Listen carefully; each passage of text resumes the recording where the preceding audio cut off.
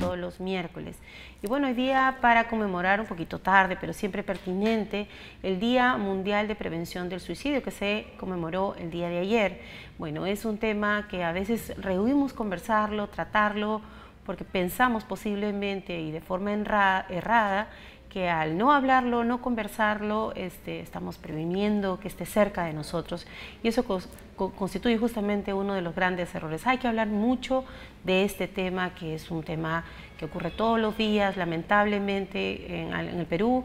Más de mil personas intentan suicidarse, de ellas un porcentaje importante logran este, terminar este intento de acabar con su vida que es algo muy penoso. Justamente para hablar de este tema, cómo prevenirlo, desde cuándo aparecen estas ideas suicidas, hay señales que nos podrían ayudar a detener este impulso de acabar con la vida de una persona. Justamente para hablar de este tema tenemos aquí con nosotros a la licenciada Isela Nicolás. Ella es psicóloga del programa de prevención perdón, del suicidio del Instituto Nacional de Salud Mental, a quien le damos la bienvenida. Muy buenas tardes. Bueno, hablar del tema. Ayer fue el Día Mundial de Prevención y algunos programas han hablado y lo han puesto como un tema principal, digamos, de agenda en los medios de comunicación, pero nunca es suficiente, ¿no? ¿Es realmente posible prevenir el suicidio? Hablemos, hablemos, comencemos con ese tema. El tema de prevención del suicidio es un tema factible, ¿no? Que es afín a todas las personas. Obviamente hay una tendencia hacia el ámbito clínico porque de fondo subyacen muchas patologías, tanto de trastornos clínicos como de trastornos de personalidad pero sí eh, las personas podemos aprender a ver algunos signos o síntomas de una persona que es un potencial suicida, ¿no? Como por ejemplo, eh, una persona cambia en primer lugar el estado anímico. Entonces, esa tristeza que se muestra no es una tristeza cualquiera, sino es una tristeza profunda. Estamos hablando también de, en adolescentes, este signo de aburrimiento, ¿no? Entonces, cuando dicen ya no sé, no, sé, no quiero hacer nada. Y, disculpe, el suicida lo dice, ¿no? Lo verbaliza, llega a decirlo, sino que pareciera que no nos terminamos de dar cuenta que esas frases son realmente serias. Es que hay muchas formas de expresarse, ¿no? ¿Cómo, como cuáles? Por ejemplo, pueden decir quiero dormir y no despertar, o quiero irme lejos, no quiero regresar. Eh, ¿Qué sentido tiene esta vida? ¿no? ¿Ya para qué vivir? ¿No? Yo no voy a ver esto, soy una carga. Son las expresiones que empiezan hasta que haya una expresión directa que puede incluso incluir un plan. Por ejemplo, puede decir, eh, yo esta vida yo ya he decidido y voy a suicidarme o voy a matarme de una vez. Es más, lo voy a hacer el fin de semana cuando no hay nadie, etcétera. Te lo dicen con claridad, ¿no?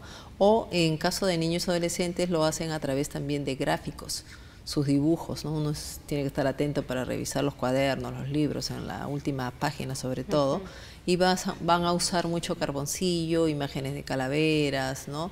Alusivos a la muerte. Entonces, eh, poemas que tienen que ver con este fondo muy tanático, muy de muerte. Entonces, sí es ¿Qué hacer ahí, licenciada? Uno eh, debería, básicamente, yo creo que la mayoría toma como una broma pesada, ¿no? Mm. Eh, si es un adolescente, bueno, es parte de la edad, o este tipo de, ideas de que, bueno, es un momento, cualquiera aquí no puede estar triste y decir cosas tan infaustas como estas.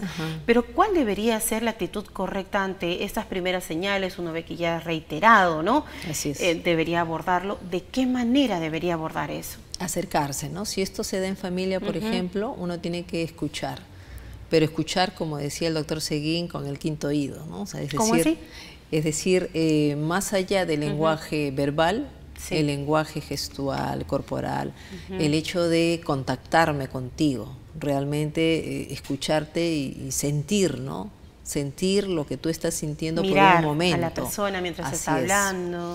Eh, sí, definitivamente, ¿no? Pero, o sea, la parte de conexión más afectiva, más emocional, es la más importante, ¿no? Entonces, yo estoy aquí para ti.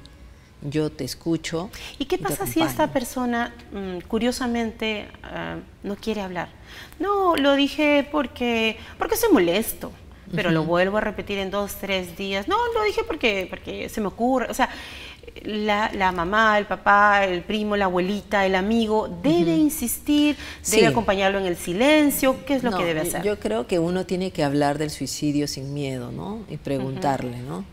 que eh, está pasando por tu mente suicidarte, ¿no? La muerte así, es así, de, así de directo.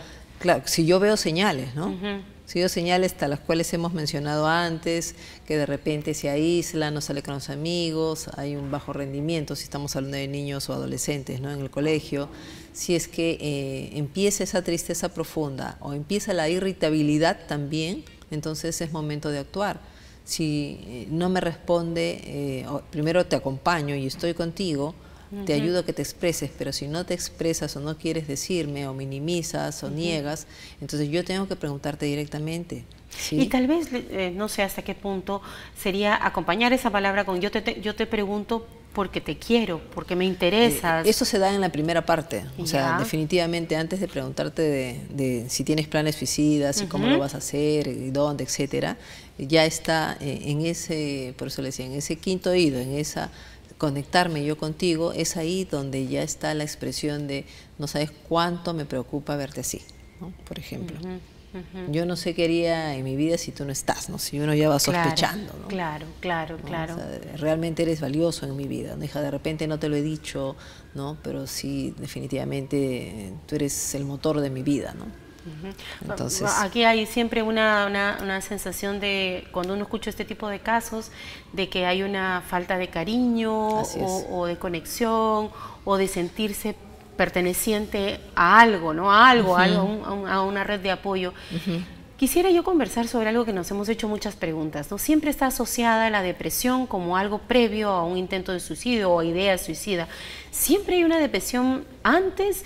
¿Qué otros factores pueden conducir a acabar con la vida de uno? No, no necesariamente, ¿no? O sea, si bien es cierto, eh, la depresión está asociado, pueden haber eh, de repente suicidios impulsivos. ¿Cómo así? Eh, puede ser, por ejemplo, que obedezca a un trastorno de personalidad límite y entonces la persona eh, en esa inestabilidad en la cual se va manejando va de, como se dice, de un lado a otro, desde la tranquilidad hasta la euforia. Entonces simplemente eh, habla con su, con su mente emocional, como le decimos nosotros, no reacciona y sobre reacciona, ¿no? Es decir, por ejemplo, no sé, ya el vaso se, se cayó, entonces, ah, es un desastre, empieza a maximizar. Y eh, la mente racional no está presente, mucho menos una mente sabia. Entonces, eh, por ejemplo, cuando hay un evento crítico, porque se dan las crisis suicidas, si hay una historia de infidelidad, para dar un ejemplo común, la persona puede optar ¿no? por suicidarse no lo pensó antes, jamás estuvo en su mente. No estuvo la depresión como a veces no asociamos. No la depresión, no, aparentemente no hubo ninguna enfermedad ya. ¿no? mental. Sin embargo, en ese momento la persona sale fuera de sí y puede cometer suicidio. Es más, incluso vemos el binomio suicidio-homicidio, o sea, la persona mato y luego me mato. Exacto. Como lo que ocurre, lo que vemos. Además de ese trastorno que usted me menciona o estos, digamos, hechos, eh, entiendo que son demasiado drásticos en la vida de una persona, ¿qué otros aspectos pueden conducir a, esta salirse de la realidad y tomar una decisión tan abrupta como esta? Eh, están relacionados a muchos. ¿no? El suicidio es multifactorial, en realidad, no es que exista una sola causa pero por ejemplo eh, está asociado a, si es que hay un trastorno ¿no? clínico o de personalidad, eh, y si es que ha sido abusado sexualmente, si hay historia de violencia psicológica, física, etcétera, si es que de repente hay historial eh, suicida en su, en su familia o alguien cercano a él se ha suicidado, ha intentado suicidarse, si es que hay bancarrota, si es que hay fracaso académico. Es decir, pueden haber muchos factores que pueden desencadenar una conducta suicida. Ahora, por supuesto, acá estamos hablando de suicidio consumado, pero tenemos que mencionar que hay un espectro suicida. Y ese, ese espectro suicida empieza, puede empezar desde el deseo de morir ¿Y desde qué edad? A veces nosotros siempre, siempre relacionamos con gente adolescente que está, digamos, todavía atravesando una serie de procesos de cambio o de personas que han tenido una situación extrema. Pero, ¿hay niños? ¿Desde qué edad empiezan a aparecer estas ideas suicidas? Las ideas suicidas pueden aparecer desde niños, ¿no? Por eso hemos tenido un caso más álgido, el de 8 años, ¿no? Sin embargo, eh, como hay un pensamiento concreto, no hay una personalidad desarrollada, no hay eh, una conciencia plena de que realmente el suicidio no tiene vuelta atrás. ¿no? Entonces, muchas veces también se da por fantasías o puede darse pues eh, obviamente en función a ese sufrimiento que ese niño adolescente puede tener. Eh, se presenta más claro una idea suicida ya en, la adolescencia porque obviamente ya está madurando un poco más pero eh, una idea ya con plena conciencia pues ya está en la adultez. ¿Y, qué podemos decir, licenciada, en esta a veces eh, que vemos en las redes sociales o a veces en alguna literatura de romantizar un poco el ah. suicidio? Da la impresión como ¿no? una especie de fantasía de un sufrimiento que puede ser incluso hasta controlado, pero pareciera que nos olvidamos que detrás realmente hay un, un sufrimiento enorme. Así es. Así es, eh, eso de romantizar me has hecho recordar, Karina, ¿no? que hay toda una serie de producciones literarias, ¿no? Eh, como el joven Goethe, ¿no? como este Romeo y Julieta, eh, de repente incluso hasta ver autores que están relacionados ¿no? con la muerte, como nuestro gran célebre Arguedas, etcétera. Entonces, o ver que pues este se se ve como algo lejano, ¿no? No se le da importancia. ¿no? Y, se, y, hay una disociación tal vez ahí un poco licenciada de que detrás de eso que parece muy romántico, ¿no? Muy, muy, este, algo utópico, ¿no? Que incluso da la impresión que después de eso vas a seguir viviendo, pero en otra vida, digamos, ¿no? Eh, heroica y demás. Pero nos olvidamos que detrás hay un sufrimiento realmente tan intenso que la persona justamente quiere salir de la vida sí. para ya no sufrirlo más. Sí, bueno, ahí definitivamente tendríamos que diferenciar los tipos de suicidio, ¿no? Por ejemplo, eh, en esta anomia, como diría Darkin, que estamos viviendo socialmente, ¿no? Donde no hay esa ese contacto, ya se pierde la humanización incluso entre nosotros mismos, eh, vincular, eh, definitivamente no, no se le presta la atención, ¿no? La seriedad del caso que amerita. O sea, lo vemos como que está sufriendo y bueno, ni siquiera está sufriendo, ¿no? De repente hasta se hace, ¿no? Está llamando, la, está llamando la atención. Quiere, quiere que yo le atienda, ¿no? me está manipulando, ¿no? Entonces creo que por ahí también es el tema de no prestarle y la justamente usted que lo toma eh, este, este comentario, ¿no? Entre alguien que manipula, vamos a poner que también hay personalidades de ese tipo, y alguien que genuinamente está lanzando un grito de ayuda, a ver si por ahí alguien me escucha, entre broma y broma, entre comentario y comentario. ¿Cómo alguien en la familia o un experto podría eh, notar o hacer una distinción entre que eso es una genuina llamada de, digamos, de, socorro, de atención, y alguien que es algo pasajero? Eh, son, digamos, componentes de las conductas para suicidas, ¿no? Hay eh, el famoso cutting, donde las personas se cortan, se cortan generalmente los antebrazos o las piernas, ¿no? Eh, pero el objetivo ahí no es suicidarse, yo no quiero morirme, sino yo estoy cambiando mi dolor psíquico, ¿no? psicológico por un dolor físico. Y cuando yo hago eso es como autocastigarme y eso me hace sentir bien.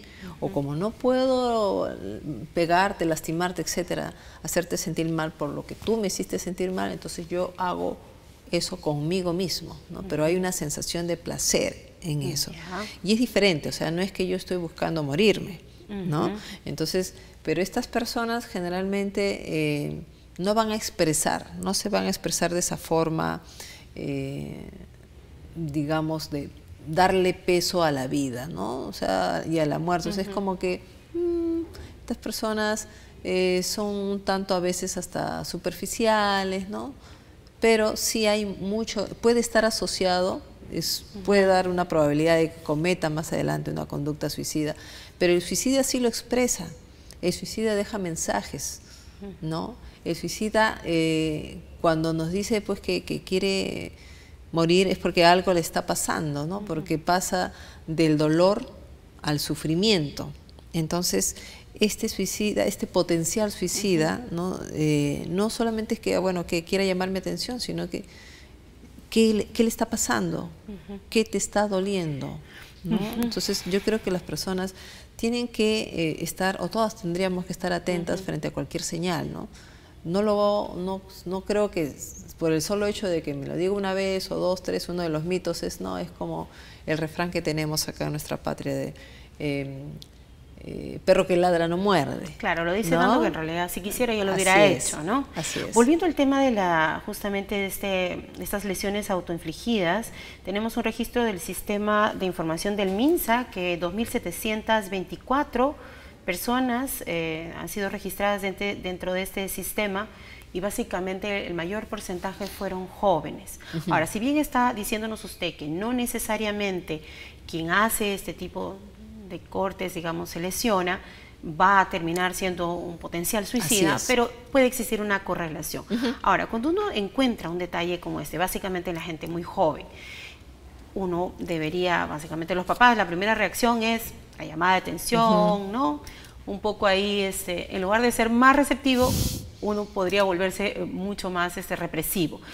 ¿Qué otro consejo hacerlo? A veces mucha gente damos, al final vamos a, comentar sobre dónde uno puede acudir, pero a veces no todas las personas tienen la capacidad ni de llegar al servicio de salud, ni de comentárselo a nadie, porque tal vez vive solo. Así es.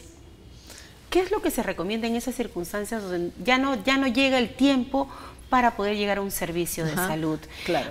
Uno debería escoger una persona para comentar ¿qué es lo que debería este, hacer? si es que alguien nos está escuchando que tiene una ideación de este tipo y no sé, que tal vez podría dar la última llamada de auxilio, ¿qué es lo que debería hacer? La llamada de auxilio que se da es frente a las personas que están alrededor, ¿no? Eh, si es que la familia no se da cuenta o la persona no quiere compartir con la familia su dolor o su sufrimiento, entonces hay otros agentes sociales increíbles que son de gran ayuda. ¿no? Eh, curiosamente, ¿no? las mascotas son un gran factor protector. Entonces, eh, el otro de ellos es este, el hecho de tener una afiliación, una fe en Dios, al margen de la religión que está afuera. Entonces, acudir con su párroco, este, hermano, qué sé yo, acudir con, el amigo, con la vecina, con el ser con el cual ellos tienen un poco más de confianza, ¿no? Porque no todos, eh, lamentablemente, no todos van a tener una atención, no todos van, ¿no? Ya sea en este caso a, Noguchi, a nuestro programa de prevención de suicidio, ni a los centros de salud mental comunitaria. Entonces hay un subregistro incluso, una preocupación. Entonces las personas siempre tenemos las oportunidades de hablar. Es más, ¿no? O sea, eh, si hasta en la calle, ¿no? Hasta el taxista, mm. hasta el taxista que puede viene puede ser un factor más bien de ayuda, protector, ¿no? Eh, el vecino, el, si está la tienda cerca, ¿no? Entonces siempre eh, las personas de una u otra manera creo que no, la mayoría, me parece, no, no vamos a estar ausentes, no vamos a estar frías y sí podemos estar recepcionando que algo está pasando y eh, de repente ya la, el mismo la misma persona que quiere suicidarse no, pero los otros que estamos alrededor, si es que no nos sentimos en condiciones de poder apoyarla, pues llamamos ¿no? a los bomberos, a la policía, a los centros de salud, etcétera. de sacar esa sensación, digamos. Ahora, otro de los factores, eh, licenciada, eh, ¿hasta qué punto es tan, tan dentro del porcentaje de personas que terminan concretando el suicidio es determinante. El tema de la violencia, tenía unos indicadores eh, de más o menos de cada 10 seis personas que han sufrido violencia de algún tipo, sexual, física, psicológica, son empujados a empezar a tener estas ideas de acabar con su vida. Así es, el tema de violencia está directamente asociado, ¿no? En, Por ejemplo, en el Instituto Nacional de Salud Mental, en la Dirección de Investigación, tenemos eh, los estudios epidemiológicos y, por áreas está, tenemos uno justo es este, es el de la mujer unida, ¿no? Ya. Y si nos ponemos a revisar en nuestro estudio epidemiológico vamos a encontrar que la mujer que es sistemáticamente maltratada, que tiene hasta tres, cinco más veces de ser un potencial suicida. ¿no? Definitivamente la literatura, eh, tanto internacional, nacional, de los epidemiológicos y de la consulta, ¿no? de la parte clínica con una paciente que tiene un, riesgo tiene riesgo mayor de suicidio cuando es violentada en cualquiera de las formas, ya sea psicológica, física o sexualmente, ¿no? Entonces hay que estar atento frente a este tema de la violencia. Ahora, ¿cuáles son las creencias erróneas del suicidio alrededor de este tema? Hemos dicho justamente esta, esta digamos, esta idea siempre permanente, es una manera de llamar la atención, ya se le va a pasar. ¿Qué otras ideas alrededor del suicidio, de este tema tan doloroso, son realmente mitos que deberíamos desterrarlo para estar mucho más atentos, ¿no? Yo creo que eh, dentro de las creencias irracionales del suicidio tendemos que asociarlas a las creencias que plantea Ellis, por ejemplo, ¿no? Son 12 creencias básicas y la primera es, eh, tengo que ser querible, ¿no? Las personas, eh, mi familia, todos me tienen que querer. Entonces, eh, eso es algo... Es imposible. Así es. Literalmente imposible. Sumamente muy difícil de que esto ocurra, ¿no? Tienen muy plasmados también algunos pensamientos automáticos, por ejemplo, los debería. Yo debería haber este, ingresado a la universidad, yo debería, eh, no sé, haberme casado, debería haberme, haber tenido un hijo, yo debería, no sé, este, siempre eh, ellos mismos tratando de eh, lograr metas que a veces son muy inalcanzables, ¿no? O que metas que, eh, en las cuales ellos tienen una alta autocrítica, por lo tanto se frustran, ¿no? Eh, dentro de las creencias irracionales está obviamente relacionada a la baja autoestima, que es el no puedo, ¿no? Yo, yo soy inútil, yo no sirvo, no puedo. El anclarse en el pasado, ¿no? El pasado eh, pasado ya sea porque me hicieron algo malo que me queda como un trastorno de estrés postraumático o porque todo tiempo pasado fue mejor. Entonces yo no vivo mi presente o a veces estoy solamente viviendo en la fantasía proyectándome el futuro, pero no me concentro en lo que tengo en aquí y ahora, porque el suicidio se muestra como una alternativa de solución, pero es definitiva frente a un problema que es temporal. Claro, usted, usted lo ha dicho, lamentablemente las personas que finalmente buscan el suicidio lo ven como la gran salida, la salida de verdad. Así es. ¿no? Cuando la, lamentable, perdón, este, realmente hay otras opciones si uno se atreviera a pedir ayuda. Ahora hablemos, licenciada, de aquellas familias eh, que viven, viven muy de cerca un intento de suicidio no concretado ¿qué hacer con estas familias? ¿Cómo ya logramos salvar a esta persona? Así es. Pero ya imagino que empiezan a emerger una serie de fracturas, de críticas, porque lo hiciste. ¿Qué es lo que usualmente pasa y qué es lo que se debería hacer? Y lo que hacemos, por ejemplo, en el programa de prevención de suicidio es atender al paciente. También hacemos la terapia multifamiliar hace más de 20 años, ¿no? Donde eh, sumamos muchas familiares y no solamente mamá, papá, hermano, sino personas significativas, que puede ser, no sé, pues el compañero del colegio, la universidad, el vecino, etcétera.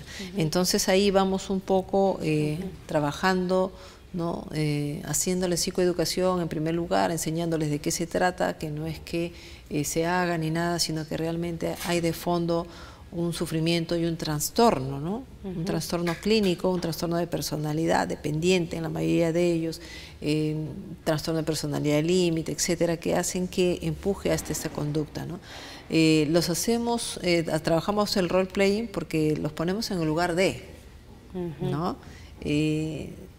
un poco se rompen esos mitos y los prejuicios porque las personas a veces tienen mucha vergüenza y no hablan, dicen, no, pero yo este se quedan calladas al inicio, pero digo, oye, pero a mí me pasa eso, sí, yo también, mi hijo, mi hija también ha intentado suicidarse. Entonces se arma todo una un lazo, un lazo donde las personas se sienten en confianza para o sea, un lazo positivo. Así es. O sea, esa, red, esa red de apoyo, soporte, así es, ¿no?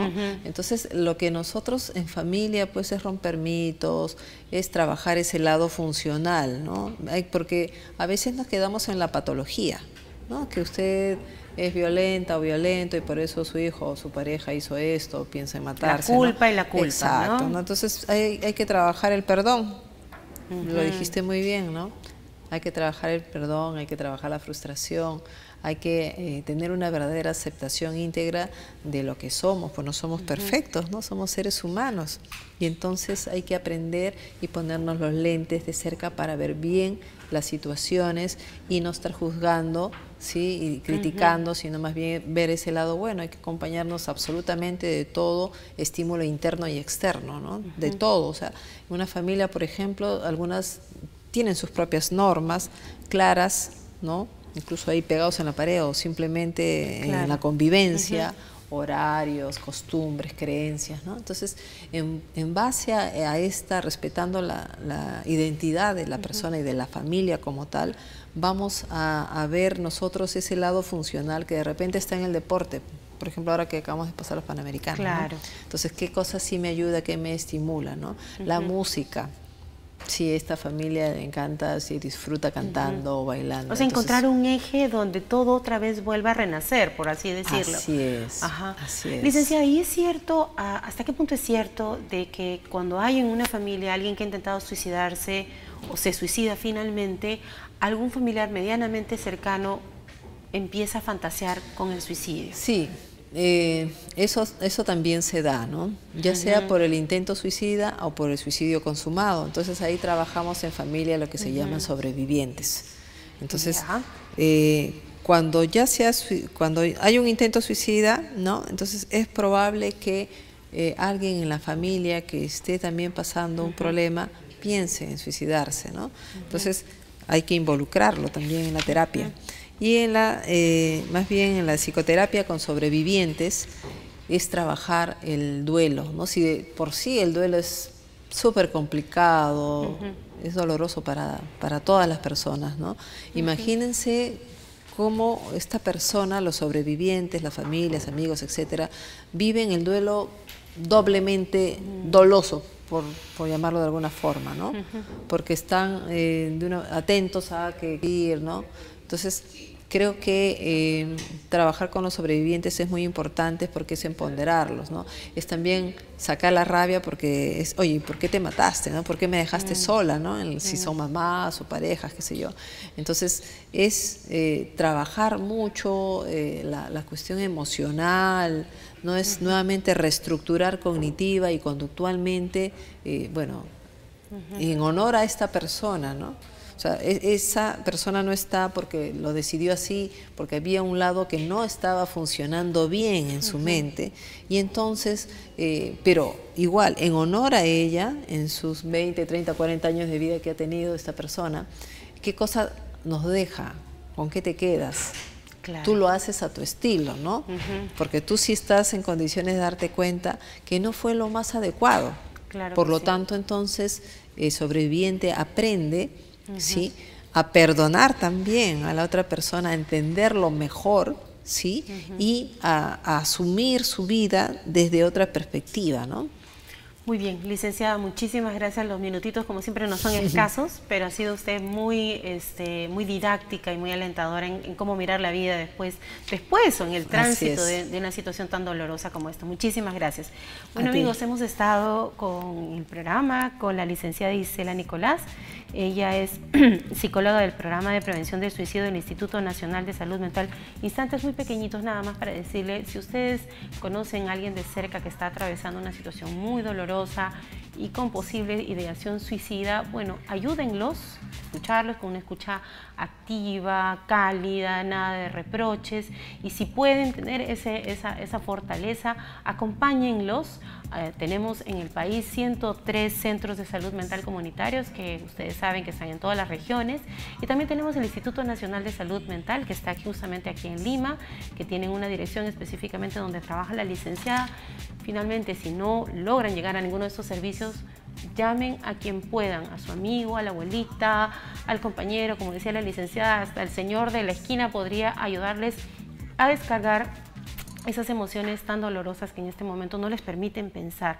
El suicidio no es la salida, hay muchas más opciones, hay que encontrar una mirada positiva, pese a lo negro que puede parecer en este momento el presente, dense tiempo, quiéranse, eh, perdónense si es que en algún momento han tenido también la idea y la familia que en este momento puede estar por una situación como esa, también busquen ayuda para que no se repita un caso tan doloroso como este.